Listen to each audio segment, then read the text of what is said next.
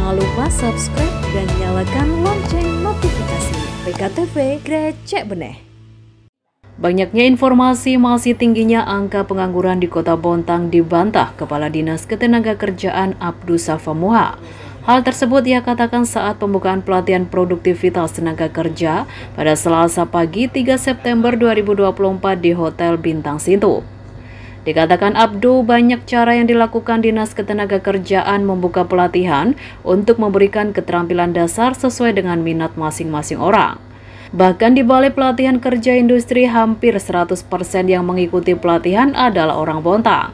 Sehingga dirinya menampik jika di Bontang masih banyak pengangguran melainkan masyarakat Bontang berusaha mencari kerja. Ia pun berharap kepada DPRD untuk menjembatani pertemuan dengan BPS dan PT Sukovindo guna mencocokkan data sehingga terlihat apa dasar seseorang di Bontang dikatakan pengangguran dan mencari solusinya. Lepas dari LPK kami, silakan lihat akunnya BLKI. Di sana itu tidak pernah berhenti orang dilatih. Memang judulnya BLK itu punya provinsi, tapi yang dilatih adalah hampir 100% itu adalah orang Bontang 99, sekian persen deh.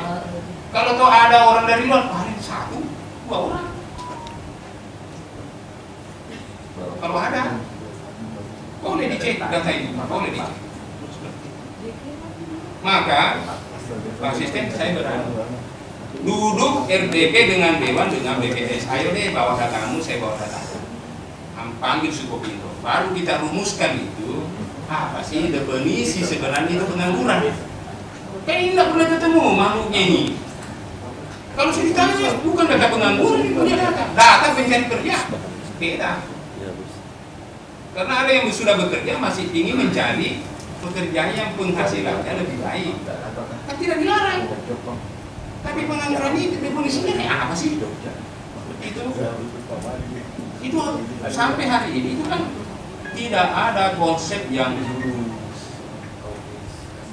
hanya berdasarkan penafsiran BPS ini alirannya, Sukopindo ini alirannya. Kalau Sukopindo paling di orang yang tidak pernah kerja sama sekali selama enam bulan. Kalau BPS orang tidak pernah kerja selama satu minggu yang lalu, satu jam. Satu jam tidak pernah bekerja satu minggu yang lalu. Demikian Rahma Faisal PKTV mewartakan.